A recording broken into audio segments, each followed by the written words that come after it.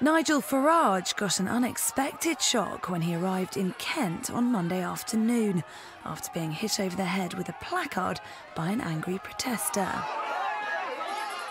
The UKIP leader was in Cliftonville in Margate to address supporters at a seaside hotel, where he had to pick his way through the group of jeering protesters, one of whom swung his placard, which read Nasty Little Nigel, at his head. They came to bar me uh, from actually physically entering this hotel uh, and with intent to physically hurt me, so that's not very nice. Uh, don't like it, uh, but it's not going to stop me.